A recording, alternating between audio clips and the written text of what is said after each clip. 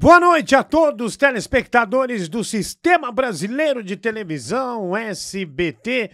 Sejam bem-vindos a mais um Ninho da Coruja. E rapidamente, vamos saber do nosso convidado. Ele foi a faísca que incendiou as laterais. Um velocista imparável que fez história com cruzamentos precisos e gols decisivos. Um homem que brilhou em gramados pelo mundo, mas que nunca perdeu seu jeito leve e reverente. Hoje ele é comentarista do Arena SBT, levando seu bom humor e suas opiniões afiadas para milhões de fãs. O Ninho da Coruja tem o prazer de receber Cicinho!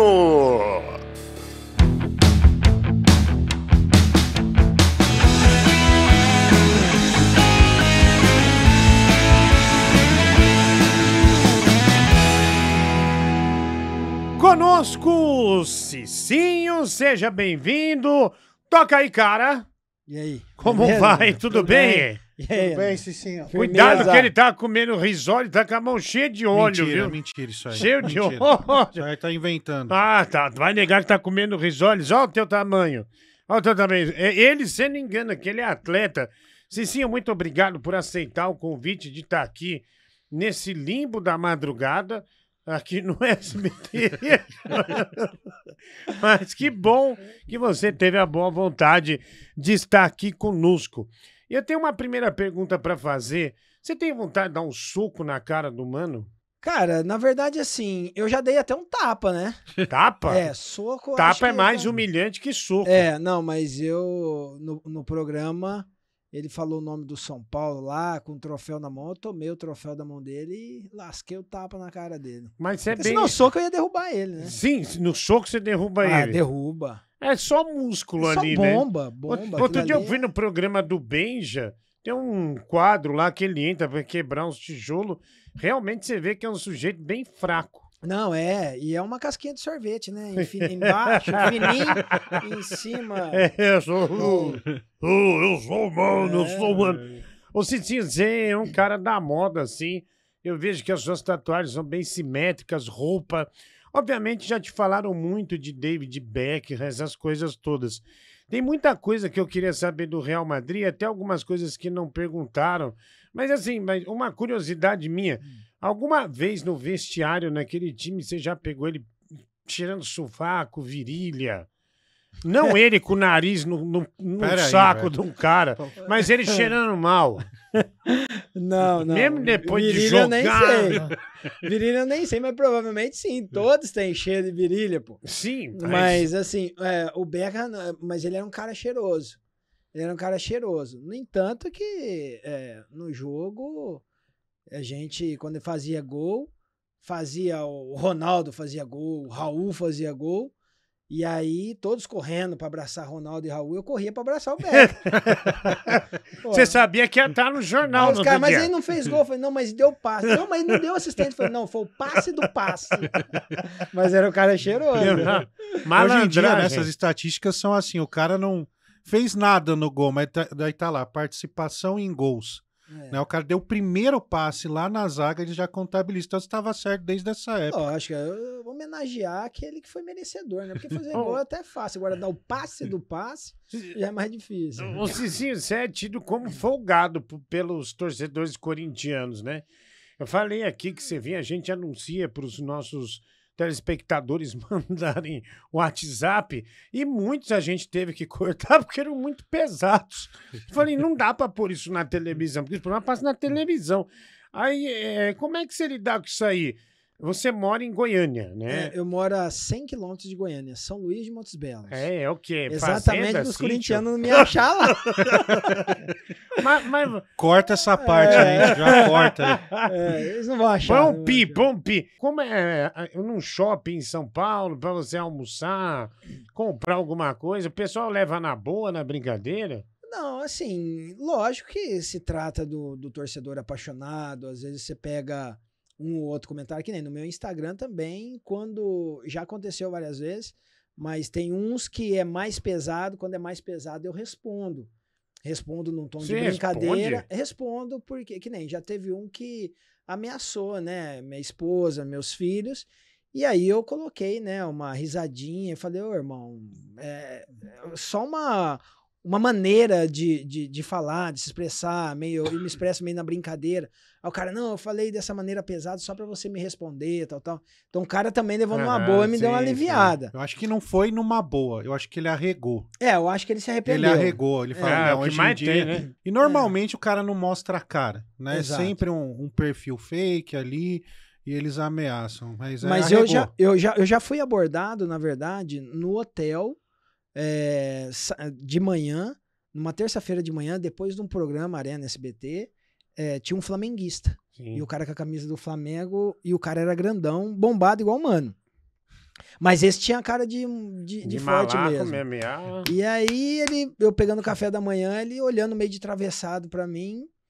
Eu falei, esse cara aí vai levantar, ele vai me bater. Eu fiquei com um receio, sei lá. Pequenininho, né? Eu falei, aí eu fui lá na mesa dele. Falei, irmão, você deve estar bravo comigo, eu tô falando mal do Flamengo, né? Falou, cara, eu tava. Se você não vem aqui, eu ia falar umas boas pra você. Eu falei, não, sou gente boa demais. Aí falou, não, gostei de você. Então ficou meio assim. E os corintianos também. Só que, assim, shopping, eu vou onde tem mais São Paulino, né? Então, Assim, é, É. é que é complicado. também eu não vou dar. Pera aí, você quis dizer que aonde o PJ tem mais dinheiro. É, ou menos, menos chance disso.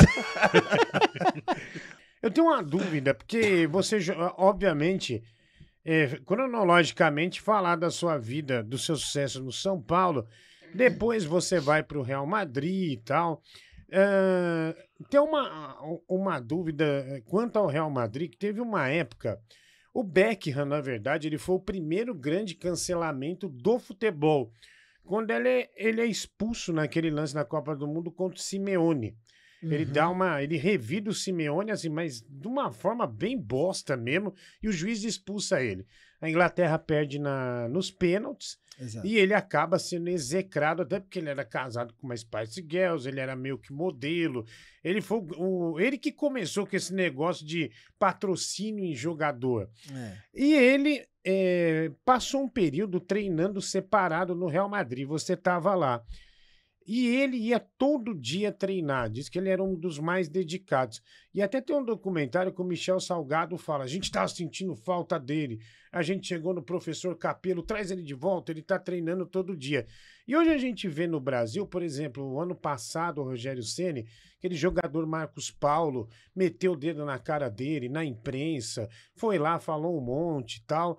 E, e o Beckham não, o Beckham que já era o Beckham, campeão da Europa, campeão inglês, campeão da Copa da Inglaterra, quase campeão no Madrid, ele foi lá e treinou tranquilamente, sem reclamar. O Uhum. que, que você acha que acontece hoje com esses jogadores é, que, que apresentam essa falta de respeito, como foi no caso do Rogério Senna, fazendo essa comparação com um ídolo gigantesco como o Beckham? Bom, é, eu convivi, convivi com o Beckham, né, dois, dois anos e, e exatamente esse período, né, quando ele foi reintegrado, ele até voltou, bateu uma falta, não me lembro contra quem foi, se foi contra o Betis, que o goleiro defendeu e nós acabamos, é, no rebote fizemos o gol e acabamos ganhando o jogo. E ele foi um dos melhores jogadores em campo depois de estar muitos jogos fora, até mesmo sem ser convocado. É, e nós falávamos lá no Real Madrid do tamanho profissionalismo do Beckham. É, porque a gente comentava ali, né, entre nós, é, às vezes é, nos reuníamos ou na casa do Roberto ou do Ronaldo e, e a gente perguntava para ele, falava, cara, pô, até quando você vai aguentar isso? E eu, eu novo ainda, né, começando minha carreira internacional, falava, se é comigo eu já tinha empinado a carroça. Só que aí você vê a, a grandeza do profissional e ele falava, olha, o, o futebol dá voltas. Daqui a pouco ou o treinador sai, ou daqui a pouco eu, eu vou ter que voltar. Então, assim, e, e ele manteve o profissionalismo. Aqui no Brasil, é, eu vejo hoje, é, os jogadores são muito, muito mimados, né? É, muita proteção em cima do jogador. Sim. Lá no Real Madrid, o, Beckham ele foi encostado, mas o Real Madrid não abriu a boca para negociar, falando que ele não fazia parte. Ele foi simplesmente encostado dos jogos, ele treinava com o elenco. Aqui no Brasil, você coloca o jogador para treinar parte.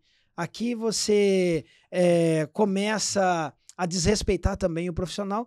E esses jogadores mimados que eu falo, eles têm a super proteção do empresário. Então Que hoje. vai na imprensa. É, hoje se o cara não joga, o empresário vai lá, por que, que meu jogador não E tá tem jogando? uma coisa importante aí também, que hoje clubes devem muito a empresários. Não, o que mais deve é para empresário. Exatamente. Então eles têm esse poder de, de chegar num dirigente, o dirigente simplesmente não falar nada Até no e não comprar a bronca do treinador. E muitas das vezes o empresário, além de ser empresário do jogador, ele é empresário do treinador. Exato. O mesmo empresário. Sim. E, então vira esse, esse rolo, né? Esse emaranhado. Então eu acho assim, essa super proteção. E, e o treinador no Brasil, infelizmente, sempre pende pro lado dele, né? É melhor você trocar um do que trocar um sete, oito Sim, jogadores. Exatamente. Que estão E- lá. é, E aí os juntos. jogadores estão presos a contrato, estão presos aos seus contratos milionários. Então essa super proteção acaba atrapalhando. E aí você vê o jogador também fazendo corpo mole.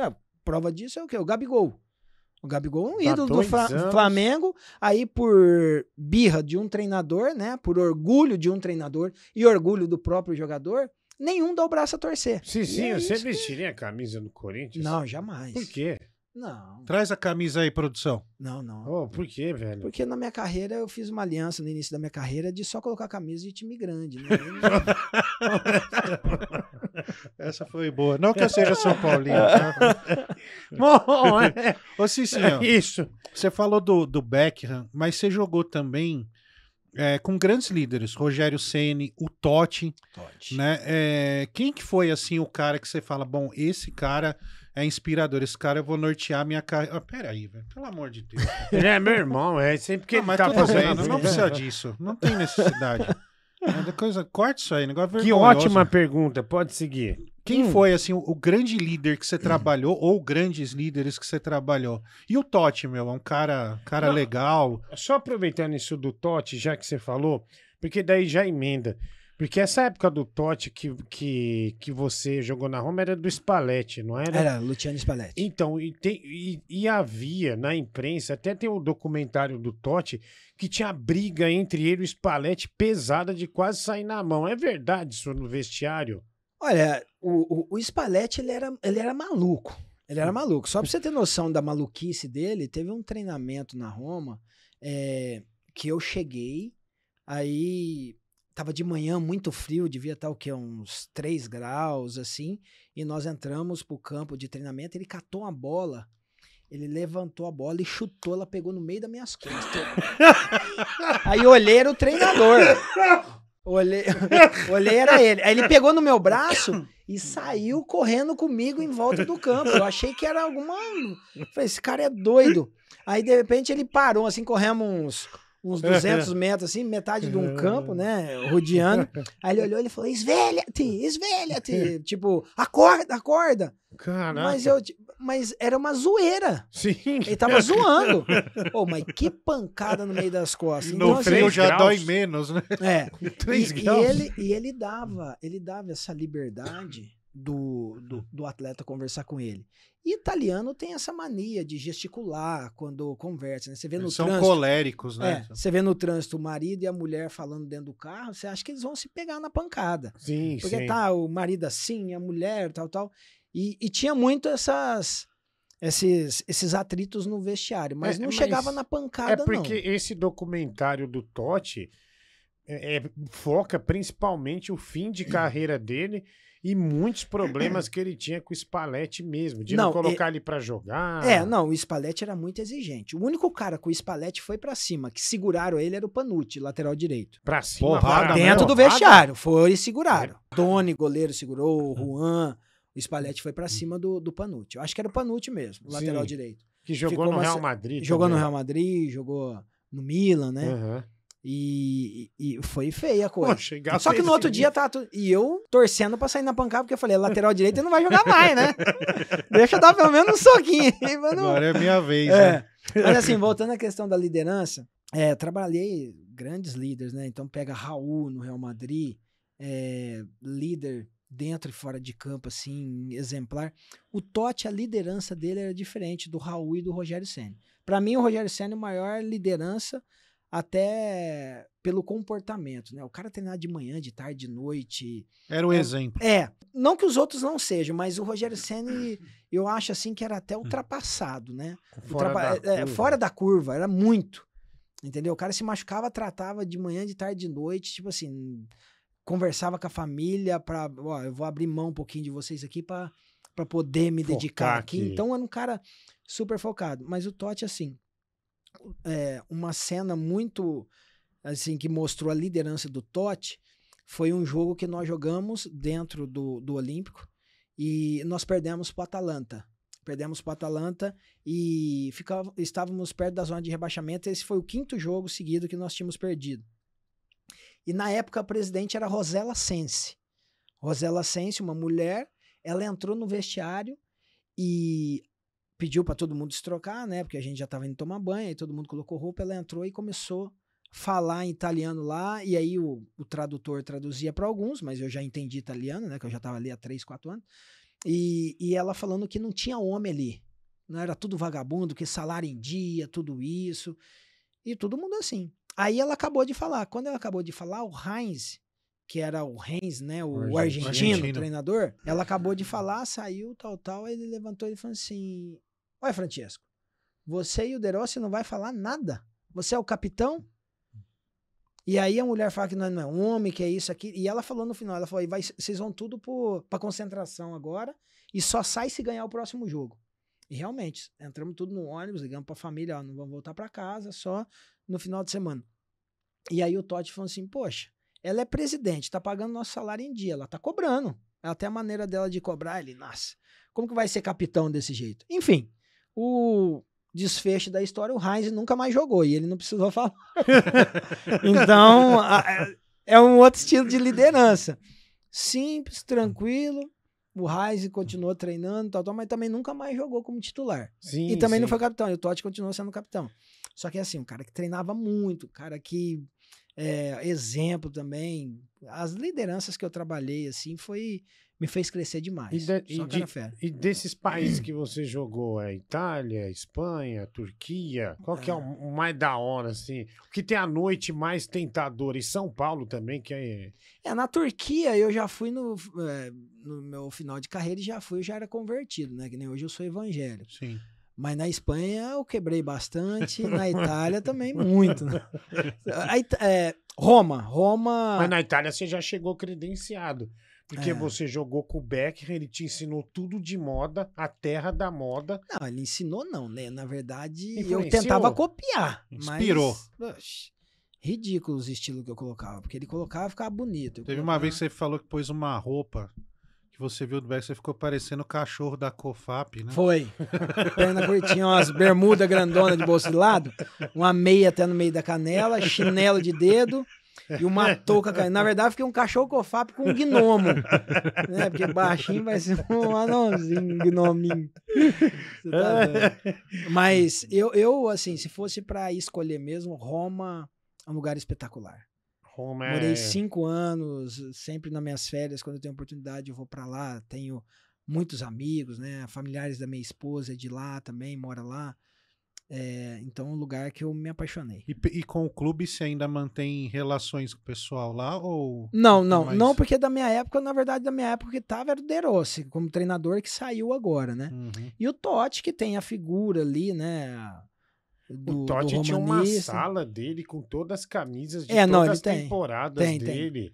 É um baita escritório que é a exclusividade É, e mudou, dele, né? A Roma hoje estava sendo administrada, né, por americanos. Então mudou da minha época, tudo. Não sei como que tá agora. Então não, não, não tem contato, não. É, é, o Cicinho, tem nossos ouvintes, né, telespectadores que mandam mensagens aqui pro Ninho da Coruja, então a gente vai ouvir a primeira mensagem, que é uma pergunta. Vamos lá. Cicinho, você que viveu tantos e tantos anos da bola, jogando com a bola, como é agora estar sendo entrevistado por duas bolas? Ah, o animal, miserável, Precisa selecionar melhor isso aí, hein? desgraçado, Nossa, essa produção também não dá, né? vagabundo, vagabundo.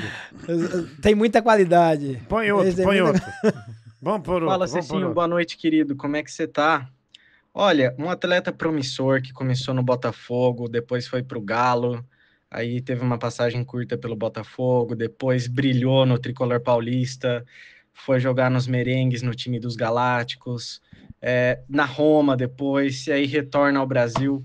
Cicinho, como que é comentar futebol ao lado do maior ídolo da Libertadores, Emerson Sheik? Opa! Um abraço. Aí, olha aí. Eu sou tri, né? Eu sou tri.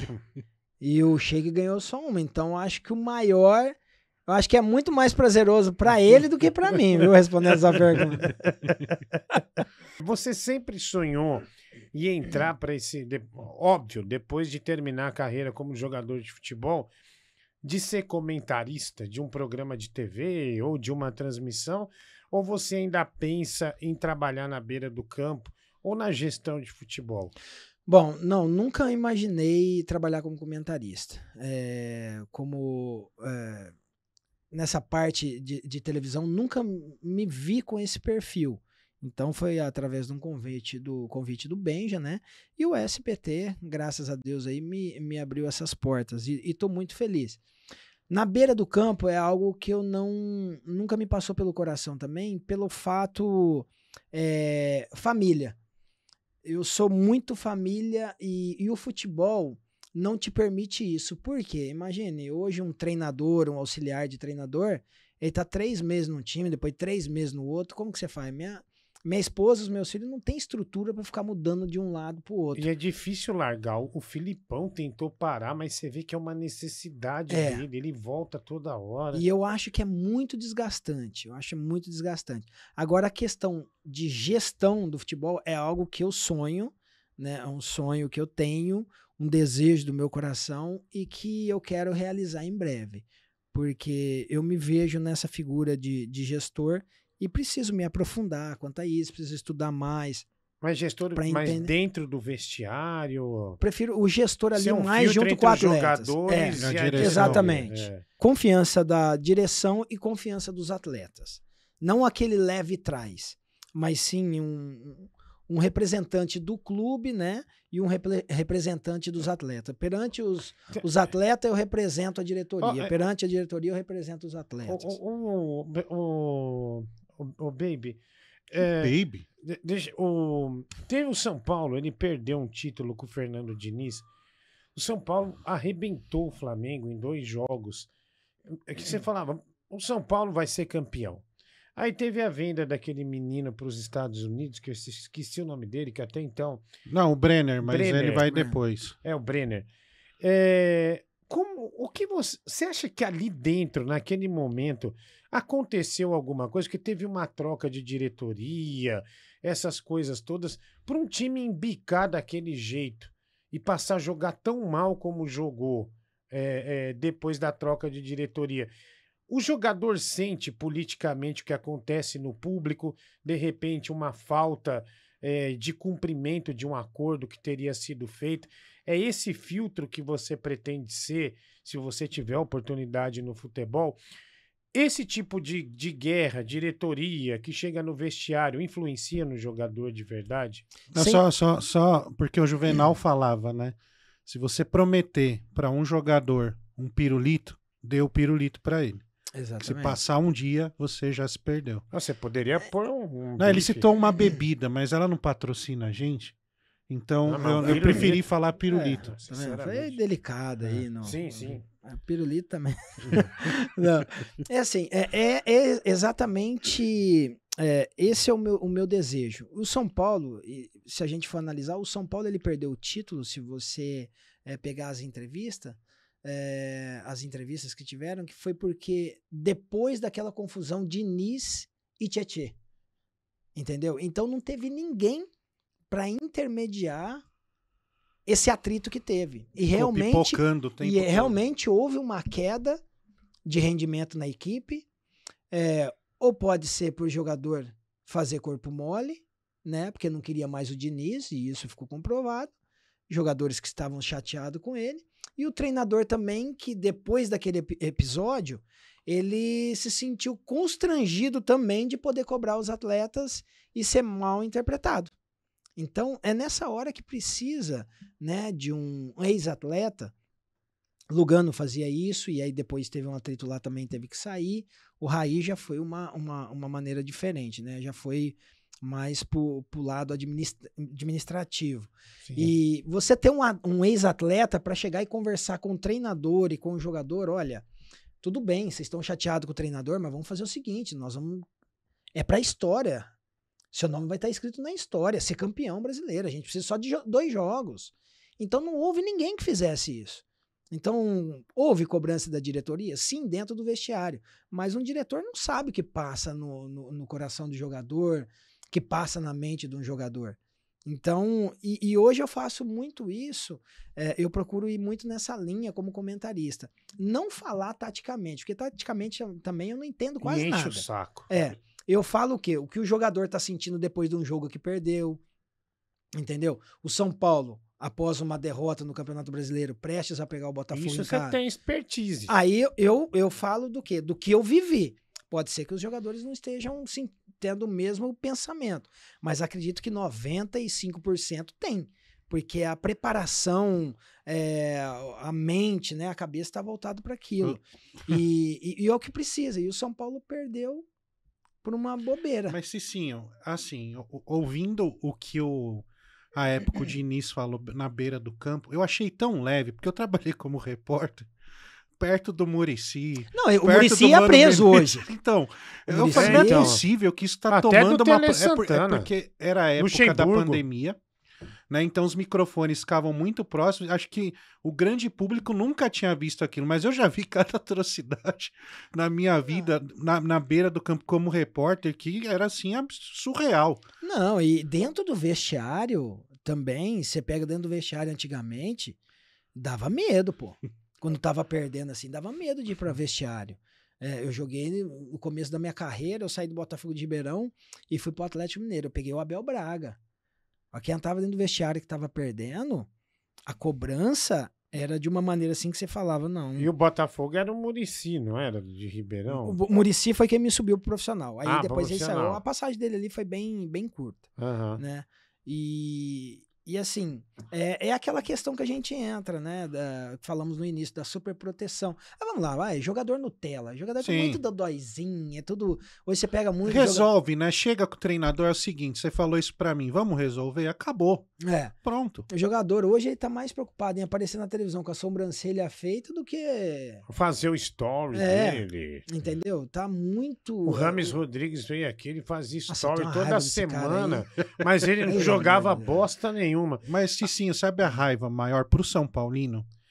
É saber que o Rames Rodrigues... Isso, desabafa, Ah, querido. peraí, cara. Vai lá, desabafa. Não, eu vou falar aqui, é uma opinião que eu tenho. O Rames Rodrigues, ele é esse migué há pelo menos seis anos. Por onde ele passou, ele fez isso. E agora lá na Espanha tá a mesma coisa. A torcida do é, tá Raio no- no Vallecano. Raio Vallecano também tá reclamando. Que- O que tem que revoltar é quem trouxe. Né? A gente tem que se revoltar com quem trouxe esse jogador. Porque não é possível você ter todos esses dados e ainda apostar e gastar uma fortuna num jogador desse, cara. Não é possível. É, mas você sempre tem, quando você contrata, ainda mais no, no Brasil, assim, que o torcedor é apaixonado, você tem esperança do, do craque, né? O craque disputou uma Copa do Mundo. Que, que ele pelo menos vai ter um pouquinho de vontade. Mas a vontade dele era só extra-campo, né? Sim. Porque quebrou São Tirar Paulo foto, aí. né? Não, e São Paulo aí, a vida dele noturna aí era absurda. Dinheiro, é. Essa é a preocupação dos jogadores hoje. Você tá num time, você tá seis meses sem receber. Aí os caras pagam da carteira, mas não pagam a imagem. Aí chega um cara ganhando 3 milhões e 800. Perde um pouco as forças, dá uma desanimada. Abala o grupo. Pelo momento que o Corinthians está vivendo, é, acho que essa é a, é a última coisa que os atletas estão pensando, né? Porque eles querem sair dessa situação. Eu, eu procuro analisar do outro lado. Por exemplo, se eu, você, se a gente for é, receber sondagem de uma empresa para ser contratada, a primeira coisa que a gente vai puxar é o histórico. Ó, será que a empresa paga bem? Será que Uhum. paga em dia? Agora, o meu pensamento é o cara acompanhando tudo que tá passando no Corinthians, um time aí que por má gestão tá devendo 2 bi, como que o cara aceita vir jogar num time que provavelmente não vai pagar o salário dele? Ok, falar que apaixonado pelo Corinthians? Não é. Então, eu fico com uma conclusão. Não tinha nenhuma proposta. Que ele pode ajudar o Corinthians? Pode. Mas, na minha opinião- Europa, ele tava. Porque ele era reserva no Atlético de Madrid. Não, tudo bem, mas. é, entrava de vez em quando. se algum time quisesse. Porque se algum time quisesse ele, você acha que ele viria pro Brasil? Não. Não. Não viria. Né? Se uma Não- Roma, Não. um Napoli, Até uma porque ele é da Inter. seleção holandesa. Ele é da seleção holandesa. Então, ele ainda sonha com a seleção, ainda sonha de disputar a Tem Copa 30 do Mundo. anos. Pois é, então lá na Europa ele será mais é, assim analisado. Aqui é mais difícil, porque lá ninguém acompanha o futebol brasileiro. Eu joguei dois anos no Real Madrid, joguei cinco na Roma, joguei na Turquia, nunca vi um jogo do Campeonato Brasileiro. A não ser que você instale lá um, um aplicativo, Sim. né? Na época minha era um decoder que você tinha que instalar das emissoras do Brasil. E, e aí fica é- essa questão. Então, eu, na minha opinião, é o Rames Rodrigo do Corinthians. É, olha aí. ele entrou ontem, É, mas torceu o tornozelo no fez jogo, até né? exame, Levou né? tombo igual do Vampeta. É, complicado, viu, Ô, meu? Ô, Cicinho, é, você foi lateral, principalmente no São Paulo. São Paulo, campeão da Libertadores, campeão do mundo. Tinha um sistema com três zagueiros, você tinha mais liberdade. Cara, hoje a gente vê os, os laterais, né? Se é que podem ser chamados de laterais, os caras vão ao fundo e simplesmente dão um passe pra trás. Eles não cruzam mais na área. Por quê? O que, que aconteceu, cara? Calma, ele tá Não, não, aqui não perto. dá, não dá. Você não precisa falar alto com ele. ele Não, tá não, aqui fica perto. calma. né? É, Por que, que, é que isso é revoltante. Porque não cara. tem treino. Hoje, se a gente liga a TV, hoje também nós não, da imprensa, nós não podemos nem, na- nem acompanhar o treinamento. É né? verdade, né? É Fechado. fechado. Mas você E já a- viu que os caras fazem? A assessoria do clube fala, hoje treinou não sei o que, não sei o que. Deve um repórter de rádio e fala, hoje o São Paulo treinou tal, tal, tal, tal, tal, tal. Ele nem assiste. Não, e é, O repórter não assiste mais o é treino. só campo reduzido. Você não vê um trabalho de cruzamento. Você não vê um trabalho de, de cabeceio para os zagueiros. Não vê mais isso no futebol. E Entendeu? é desde a base, né? É, assim, a gente fala o Rogério Senna. O Rogério Senna batia 100, 150 faltas depois do treinamento, né? Eu pegava a bola, era 50, 60 cruzamentos depois do treinamento. É, então tinha o Fabão Lugano, era 150 cabeçada depois do treinamento, o treinador jogando, os caras tirando bola de cabeça. Então é questão de treinamento. E hoje você não vê isso. Imagina, na minha época o Emerson Leão chamava eu de lateral peixe, falava que eu ia no fundo e nada. E hoje os caras, então, é o quê? Ó, e eu era o cara que mais dava assistência no São Paulo, fazia lateral que fazia gol. Então mudou muito isso daí. Hoje, isso o cara. é, o cara não pode fazer um trabalho à parte, porque o fisiologista falou que ele tá sobrecarregado. Só que aí o cara vai no shopping, vai Sim. andar. Então, se ele tá sobrecarregado, ó, filho, vai pra casa e repousa. Ele até entendeu? falou da falta de meias, de o lateral que não sabe cruzar, e daí vem um jogador estrangeiro igual o Garro, meio campo, que surpreende, que deixa jogador na cara do gol, e esse uruguaio contra o Flamengo também. O Flamengo, aliás, jogador baixinho e meio gordinho, o Flamengo tem uma sina. Um ano foi o Cabanhas, que acabou com o Flamengo. Três gols. E esse ano, esse uruguaio, que eu, infelizmente eu não me recordo o nome, a produção pode até mandar aqui no ponto, ele também acabou com o Flamengo no Maracanã. Há muito não surge no Brasil um 10 que você fala, meu Deus do céu, esse aqui é um, um 10 que vai realmente é, mudar, né? Vai quebrar uma linha com drible, com passe. É, hoje, o esquema tático que se monta no Brasil, é, você tirou camisa 10, porque você. Hoje, hoje não, não estão mais à procura de craque.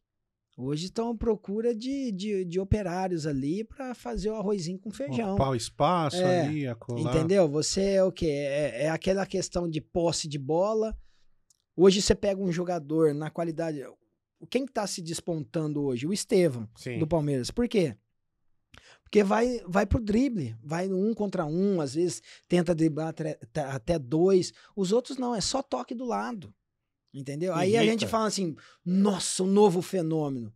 Gente, o Estevão é top? É top, mas não é assim fenômeno. Até porque eu joguei, eu, eu vi o início da carreira do Robinho, é, você pega fenômeno Neymar, você pega o o Ronaldo. Ronaldo. Aí é. E hoje você vê é, comparações de craques de hoje com Alex de Jalminha. Cara, Alex de Jalminha não tem atleta hoje no futebol brasileiro que pode se comparar a esses dois caras. Falando É, brutal, em, né? em tá extra série, né?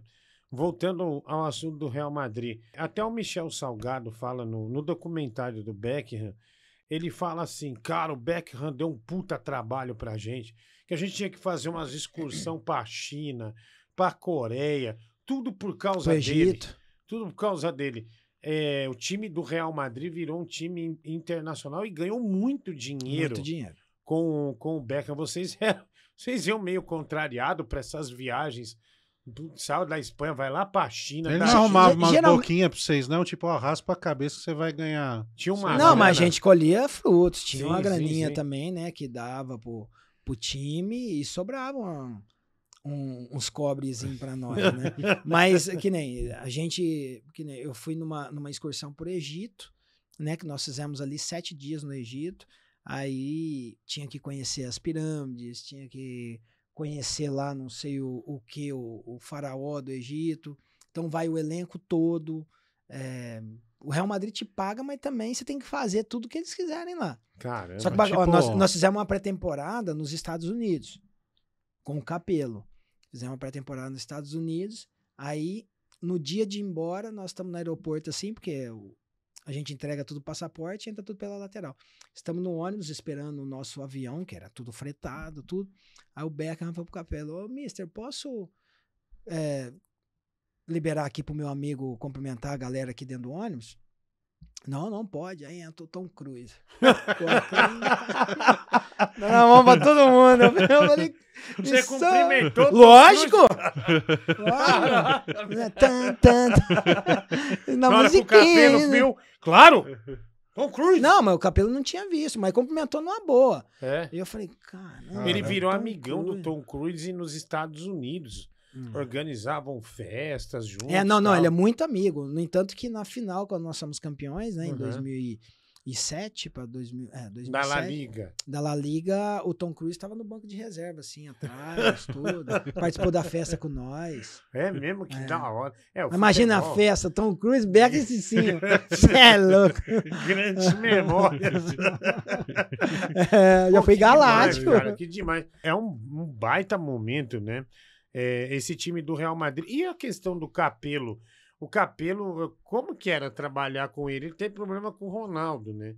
Ele falou, é, É. o Ronaldo é relaxado, Na acima do peso, não sei o quê. Ele- os europeus eles são muito assim focados, são robóticos, né? E o Capelo ele tinha muito essa questão de peso.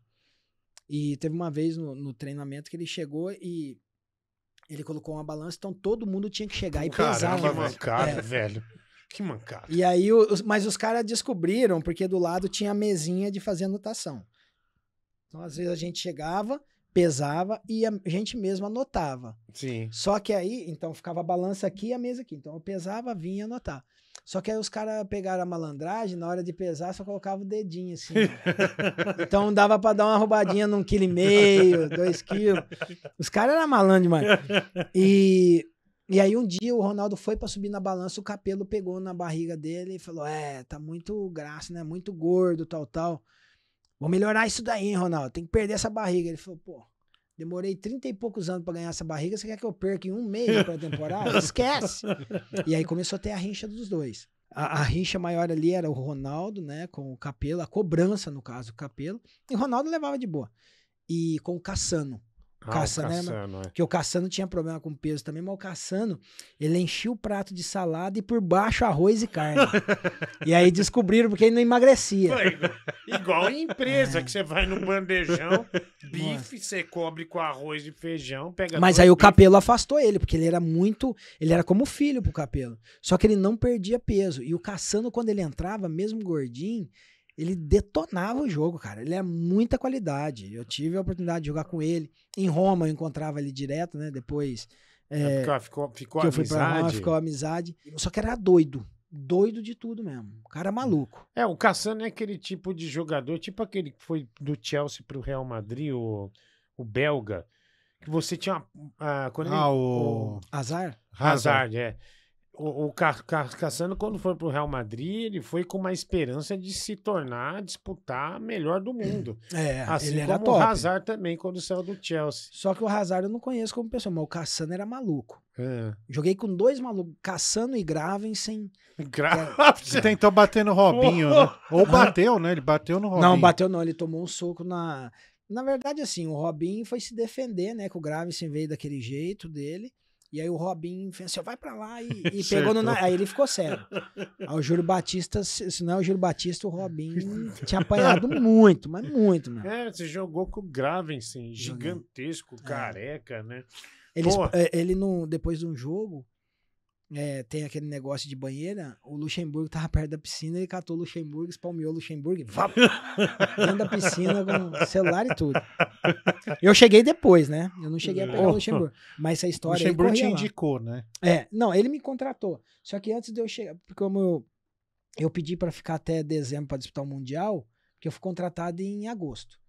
E aí eu falei, ó, deixa eu ficar até dezembro, tal, tal, pra disputar o Mundial pelo São Paulo e apresentei em janeiro. E aí eles falaram, não, beleza, então tranquilo. E aí o Luxemburgo em novembro caiu e eu cheguei no final de dezembro. Ah, legal. Ah, de sem, é, sem aquele respaldo do Luxemburgo, mas, Mas como jogador respa- do Real Madrid. É, mas já era jogador do Real Madrid, já tinha assinado já. Sim, sim. Cicinho, é, a nossa produção, ela sempre vai atrás de grandes emoções e, Uhum. obviamente, você não ficaria de fora de uma grande emoção. Pode soltar aí. Fala Cicinho, eu sou o Leonardo Iberê, não sei se você lembra de mim, mas lá em 2005, quando vocês queriam fugir do Alto Ori, do Juvenal, vocês me davam um toque, é, me chamaram algumas vezes para fazer um churrasco para vocês, e eu lembro que já valia muito a pena só pela resenha de vocês, pelas histórias de bastidores, era maravilhoso. E dizem que quando vocês comiam do meu churrasco, vocês jogavam muito melhor. então eu sou um grande responsável pela Liberta e pelo Mundial aí também. hein? E quando quiser é só chamar que será uma honra fazer um churrasco pra você e pro pessoal da Arena, viu? Grande abraço. Eu tô muito lembrado dele, não, mas ô, Nossa, que constrangimento. gente come- Quem sabe quem é o do churrasco. Que coisa horrível. Cê- cê- Isso daí é é pegadinha ou não? Porque... Não, é que a produção falou. Não, eu tô, tô notando seu, seu olhar, teu cine. Eu falei, meu, ele não sabe quem é esse cara. Quem que é Não, esse eu- cara? velho? Talvez É seja. o Iberê, não... Quem é produção? É um. Ah, sei lá. É um churrasqueiro de 2005. É um churrasqueiro de 2005, segundo Cara, falaram não aqui. vai nem lembrar, mano. É um churrasco secreto. Vamos dizer assim. não, não tinha, Mas não que tinha vergonha. churrasco secreto, não, pô. Mas tá bom, tá bom. Grande, né? Gordinho aí, obrigado. Ô, vamos para mais uma pergunta de WhatsApp. Aliás, eu soube, Hum. eu soube que você é apaixonado por Fusca. Eu tenho Fuscão. Um Fuscão, que ano que é? 95. 95? É, o último modelo Fusca lá, Itamar, né? É. Ah, do Itamar Franco. Itamar. E tá zerado, tá novinho? Na verdade, assim, ele. Eu tinha é, customizado ele tudo, personalizado, na verdade, com Uhum. as fotos do São Paulo, né? O símbolo do São Paulo, a defesa do Rogério Senna, o time titular do Mundial. Então tava tudo organizadinho. E um sobrinho meu pegou o carro escondido e bateu ele e amassou tudo. Então agora o carro tá aqui em São Paulo, já tá finalizando a customização Sim. pra. Se seu sobrinho é um poder- filho da p, né? Peraí, Mas não, cara. pegou escondido, velho. Olha, olha, vou- qual é o nome dele? É o Brian. Brian, você é um desgraçado. Tá? Você se Bateu. esforçou pra comprar o carro, menino? Bateu o Fuscão. Ah, é, desculpa. Agora o Fuscão tá assim, ó, quase pronto, ó. Olha. Caramba. Mas É. quanto tempo que você não chega perto dele? Ah, já faz uns três meses. Três meses? Três meses. Ouça isso aí. Vai, pode pôr no ar. Oi, Cicinho. Aqui é o motor do seu Fusca. Saudades. Faz tempo que a gente não se encontra. Abraço. É o motor do Não. seu Fusca. Não, não é o não. motor do Fusca é, tá com saudade de você. Três meses, muitas vezes pode significar três anos, três décadas. O Fusca eu tenho saudade, o motor dele não, porque quando entra dentro dele fica um fedor de gasolina lascado, moço. Eu nunca vi cheirar gasolina igual Fusca. Olha, cara, você me desculpa, mas você traz um convidado. Vocês simplesmente, você e a produção forjam um áudio, né, simulando que um motor tá falando. Onde é que vai parar isso aqui? Eu não sei, a gente chegou já. a- a- Essa é a quarta ou quinta semana no ar. Quer um quadro bom? Ah, não, não precisa. Quer um isso quadro bom? basta. Vamos fazer um quadro bom pra encerrar então? De quem você aceitaria o anel? Vamos começar?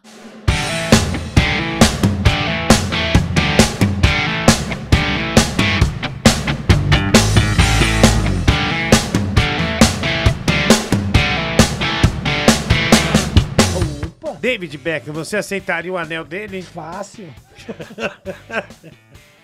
O Beckham tem bom gosto, pô. dá pra. E você?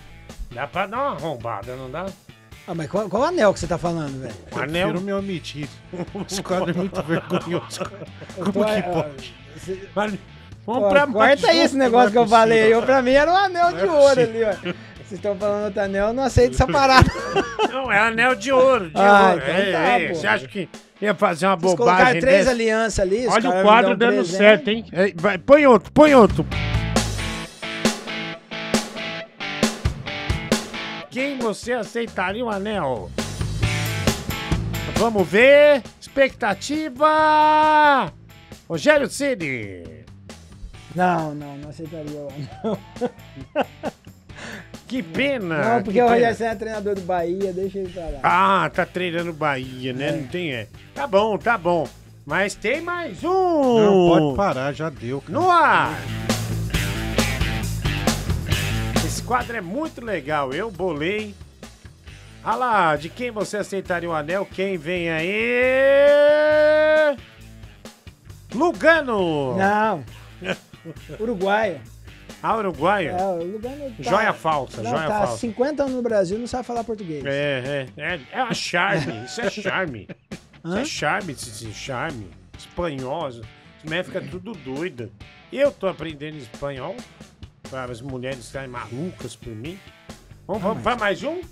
Vamos, toca Não, não, aqui, não vai, precisa. vai, vamos não lá. precisa, já deu. mais um, cara. mais um, mais um, último, último. Já deu, pelo amor de Deus.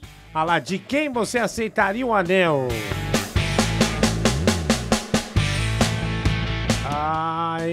Aê, mano! Não. Isso daí eu pegaria o anel e tirava tudo na cabeça deles, corintiano aí. Esse aí você arromba nas ideias, né? É. Ah, olha, boa expressão, boa nas ideias. Muito bem. Olha, Cicinho, eu quero muito agradecer a sua presença. Que Muito isso. obrigado aí pela atenção que você teve com a gente. Esse programa toda quarta-feira acontece aqui no SBT, depois do Otávio Mesquita e depois nas redes sociais do SBT Esportes. Cara, você é demais. Valeu. Parabéns. Obrigado. Você Valeu. vai Sim, ó. Obrigado, irmão. Uma honra estar cada com vez mais. aqui. Traz o presente, traz o presente, traz o presente pra Me ele aqui. Desculpa por esse quadro infame. Ô, só edita esse negócio do anel do Beckham aí. Ah, fica tranquilo, fica tranquilo. Aqui, ó, tá aqui o presente. Essa aqui é da roxa, ó, tá vendo? Precisando de um pano pra lavar lá em casa, limpar o chão. ó. Pode ser não? Bom. Tchau, Brasil.